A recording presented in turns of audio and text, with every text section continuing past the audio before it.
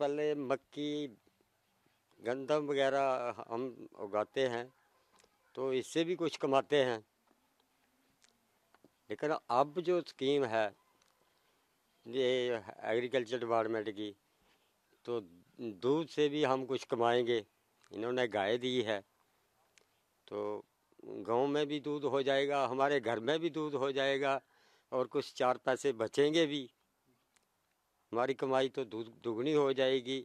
नमसा के तहत हम यहाँ पर स्मॉल रूमिनेंट्स यानी के फार्मर्स को हम भेड़, बकरियों पर कुछ सब्सिडी दे के उनकी एक आय आय को बढ़ाने के लिए यहाँ पर हमने इनको 50 परसेंट सब्सिडी पर 10 भेड़, बकरियों का एक यूनिट दे के उनको 50 परसेंट सब्सिडी पर चालीस हज़ार रुपये की सब्सिडी दी है।